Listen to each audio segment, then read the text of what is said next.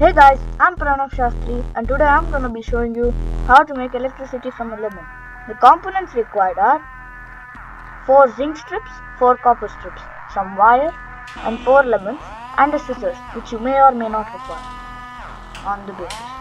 Now, we, the components required to test the voltage are an LED, a motor with or without a fan, the propeller and a buzzer. You can use a multimeter to check the voltage.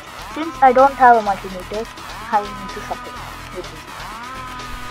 Okay, to start off with, we will take our zinc strip and one of our copper strips and join both of them with a wire.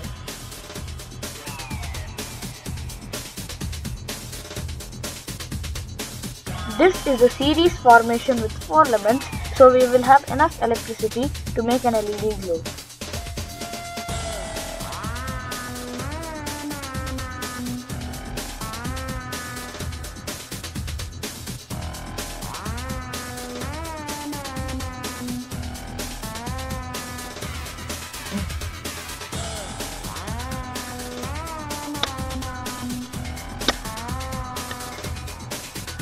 Now we will be doing the same for the next two pairs.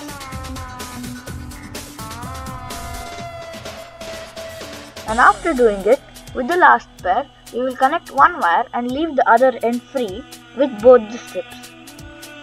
Now, we have our three strips and two of them which are we open with a wire on the ends ready.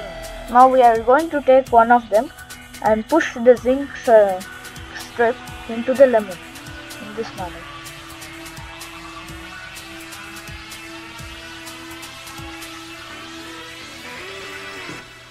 Now we will take the other end and push it into another lemon.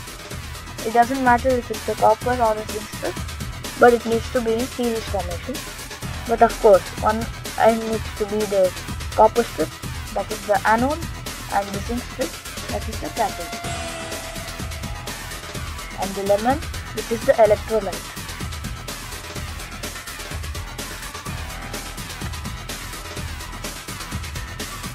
We will be doing the same with another two lemons. We are going to connect it in series in this manner.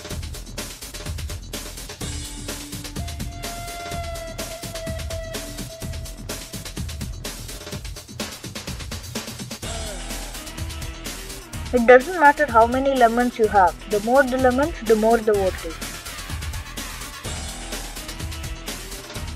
Okay, so as you can see, we have connected three wires in series. Now the fourth copper and the zinc strip, we are going to connect it, but leaving the ends free. We cannot, we shouldn't connect the copper strip of the ending wire and the ending wire of the zinc strip together. Otherwise, it is just a waste of the voltage. It is going to get short circuited.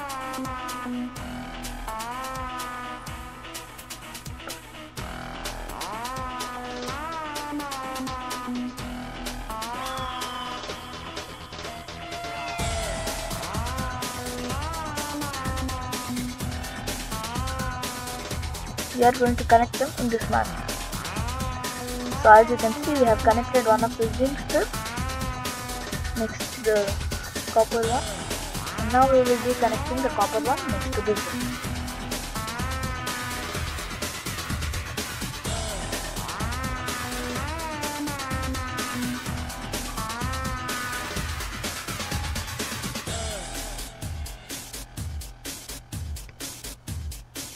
okay so as you can see our circuit is complete. You can check the voltage which is coming out from all of them with a multimeter at the two ends that is the anode and the cathode positive and negative terminals now we will connect the buzzer and see whether it has enough electricity to make it on wow!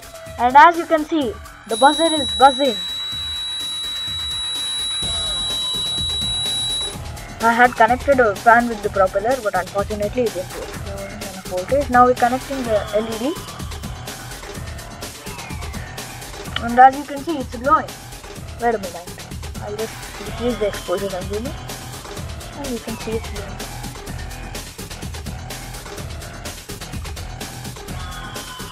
So as you can see the LED is glowing. since I have plucked this out from a serial lighting set, it has one resistance inside, so it's ideal for 8 to 9 volts. But still, it's glowing with probably 1 volt.